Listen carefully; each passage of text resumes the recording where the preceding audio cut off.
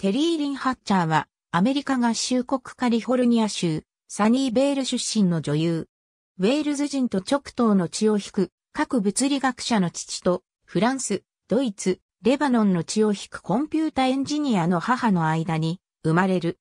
フリーモント高等学校卒業後、コミュニティカレッジのディアンザカレッジへ進学し数学と工学を専攻しながら演技の勉強をする。在学中に友人の誘いでハリウッドへ、ケビン・ベーコンのハリウッドに挑戦。がデビュー作映画である。主演のクラーク・ケントの同僚である。助演のロイス・レーン役を演じた。テレビシリーズ。新スーパーマンで一躍脚光を浴びる。1997年にはピアース・ブロスナン主演の。007トゥモロー・ネバー・ダイでボンドガールの一人となる。2004年に始まった。テレビドラマ。デスパレートな妻たちでは主役の一人、シングルマザーのスーザンを演ずる。2005年にデスパレートな妻たちのスーザン役でゴールデングローブ賞を受賞。2010年、アメリカでデスパレートな妻たちを放映する ABC の親会社、ディズニー社が運営するディズニーファミリー .com の一部として gethatched.com という女性を応援するライフスタイルに関するウェブサイトを立ち上げ、ウェブビジネスに参入している。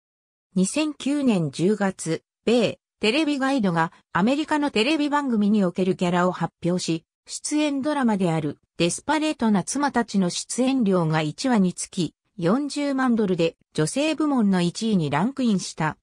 2010年7月23日付の TV マガジンがテレビスターたちのギャラをランキングで発表し、デスパレートな妻たちの1エピソードあたりの出演料が40万ドルで、コメディ俳優部門の3位にランクインした。